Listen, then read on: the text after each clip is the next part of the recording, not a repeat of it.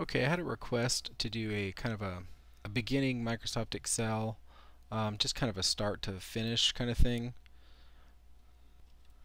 So the first thing I want to go over is when you create a new Microsoft Excel document, it says Book 1 or 2 or whatever, have, however you have, many have opened. Um, this is a workbook. A workbook is kind of like a binder. Inside your binder, you have worksheets. For example, here I have sheet 1, sheet 2, and sheet 3. Each of these can be a different page. For example, if I type this on worksheet 1 and I click on worksheet 2, it's not there. I'll go back and it's on worksheet 1. Alright, you can have as many worksheets as you need, I believe. I've never had reached a maximum. Or you can delete these and just have one worksheet. Um, one of the things that I didn't really go over too much is when you're first starting, you know, let's say you want to have employee name, and I just type this in cell B3, and it'll show you the cell up here.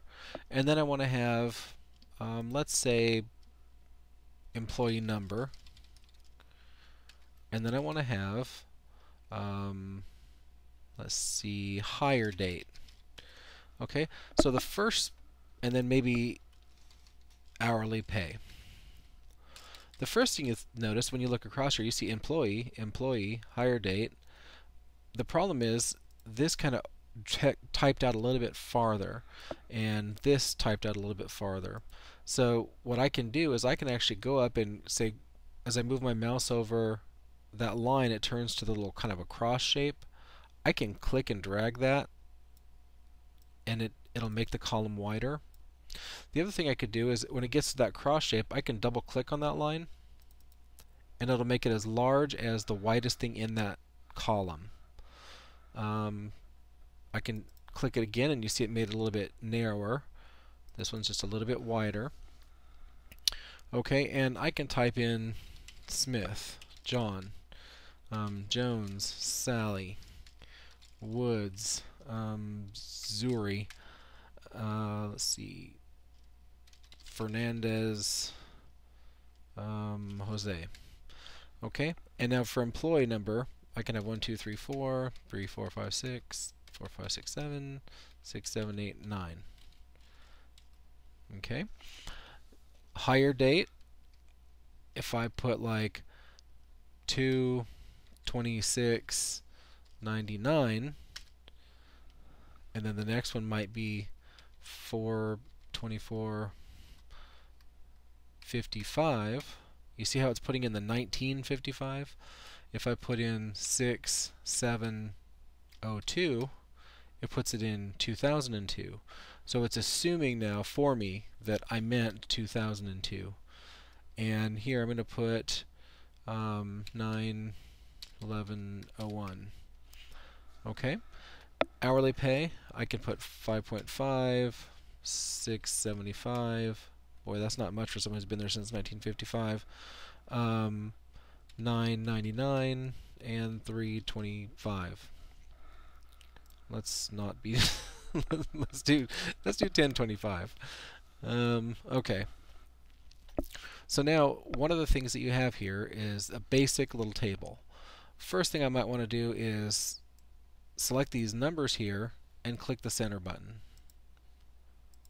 Alright, the other thing I can do is I can select this range of dates here and do format cells and it's set for date and I can choose a different date format.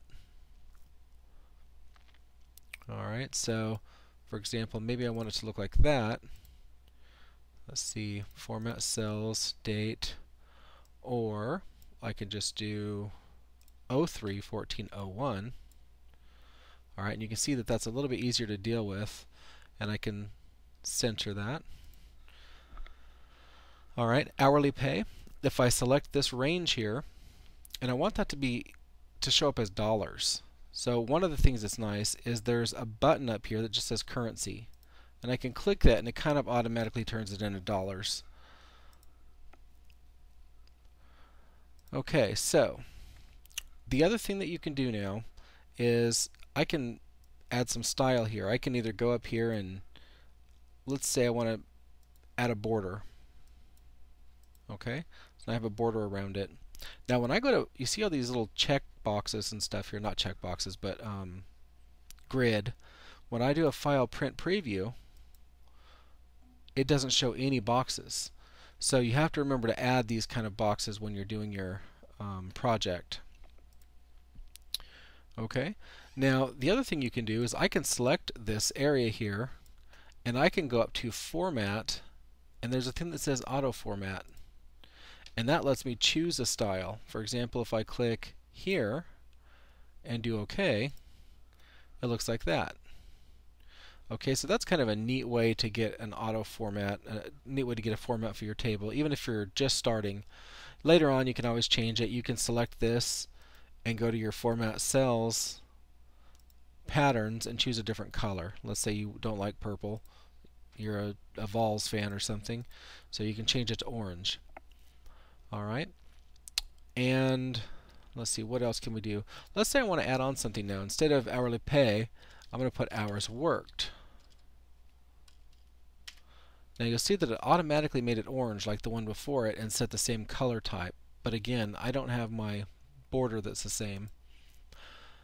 However, I can click on the cell before it or any cell that I want to have it mirror and click on this little paintbrush format painter and then click on the item and you'll see that it copied it over. Um, I can do that here as well. Let's see, I'm going to click on this one, just click the paintbrush and then click over here. So it drew the line for me. Alright, now I'm going to go ahead and select that and copy and then go over here and paste and then total pay there. So hours worked maybe 40, 30, um, 40, and 50. So total pay, I want to take this times this. So I always start a formula with an equal. So I type equal F4, because this is F and 4, times E4. Okay, so that gave me a total of $220. Now the other thing that's kind of cool here, if I click on the box here with the formula, you'll notice that there's this little um, cross here. Now the other thing I want to show you before I do this, you see how it says 220 here, but up here it says equal F4 times E4. This is the formula, and this is what actually displays. If I click in the number here, it says 40, 40, 550, 550, 226, 1999. So you see that it's usually the same, but sometimes this will display your formula. Anyway, so I have my box selected here, and it has this little block at the bottom. If I click that block and drag it down, what that does is copies that formula but adjusts it each time. Now it's F5 times E5, F6 times E6, F7 times E7. But again, you'll see that I have this problem where I've lost some of my formatting.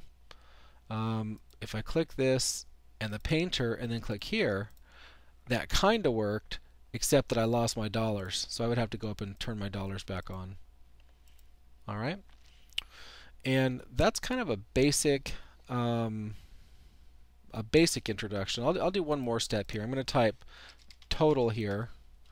Maybe I'll right align it.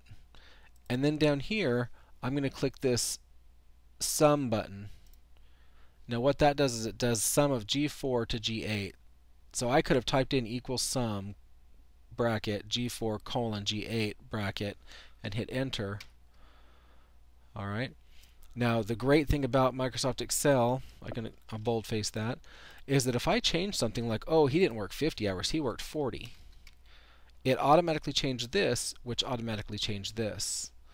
And oh yeah, I forgot I was supposed to give Sally that raise, so now she makes 725. And again, it automatically changed that and automatically changed that. So that's one of the powers of Microsoft Excel.